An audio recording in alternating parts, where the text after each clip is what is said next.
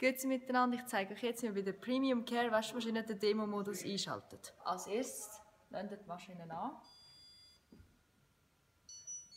Sobald dann dort die Anzeige erscheint, drückt man die zwei, also die zweiten von außen Knöpfe, drückt man miteinander rein und hebt sie drauf ein Zeitchen.